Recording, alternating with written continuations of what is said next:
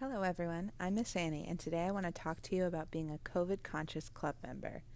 We all know that COVID 19 has made big changes to our lives.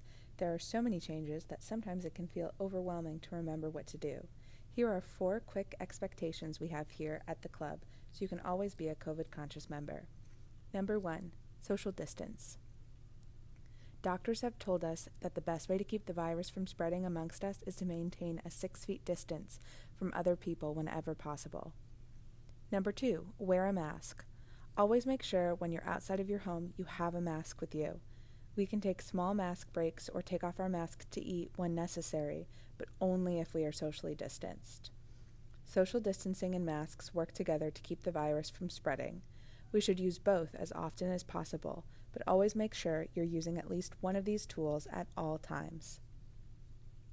Number three, wash or sanitize your hands. We touch so many surfaces during the day and carry the germs we touch with us wherever we go. When we wash or, or sanitize our hands thoroughly, we stop the spread of germs from room to room. Number four, ask questions. Do you have a question about whether something is COVID safe or not? We can figure it out together. Ask any staff member at Boys and Girls Club.